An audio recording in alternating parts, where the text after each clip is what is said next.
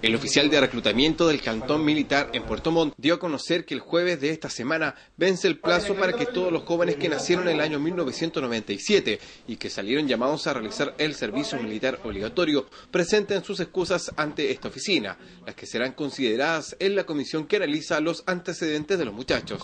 Este jueves 19 de noviembre eh, vencen los plazos para todos aquellos jóvenes que salieron sorteados, obligados para hacer el servicio militar. Eh, ¿Cómo llegaron a esta instancia? Eh, salió un sorteo el 15 de octubre, ¿ya?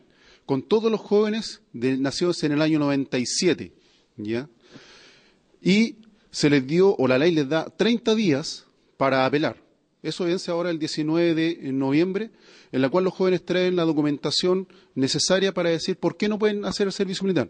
Esto lo ve una comisión especial de acreditación, la cual eh, determina en última instancia si corresponde o no corresponde a la documentación que están trayendo.